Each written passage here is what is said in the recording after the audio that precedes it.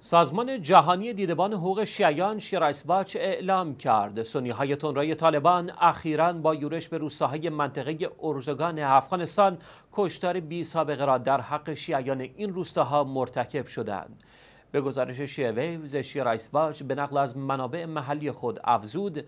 روستاهای زیادی هدف یورش تروریست های طالبان قرار گرفتند که در این بین روستاهای حسینی، کندلان و سنجق توسط آنان به اشغال درآمده و سنی های رو پس از کشتار تعداد زیادی از شیعیان 300 تن از اهالی این روستاها را به اسارت گرفتند. بر اساس این گزارش عناصر طالبان با خونسردی تمام چهل و دو تن از شیعیان این روستاها را که زنان و کودکان نیز در بین آنها بودند به شکلی وحشیانه اعدام کردند و با ایجاد رعب و وحشت باعث آوارگی و حرکت بیش از 700 خانوار به سمت منطقه مالتستان شدند جایی که اینا که مورد حمله خمپاره‌ای و موشکی قرار گرفته است.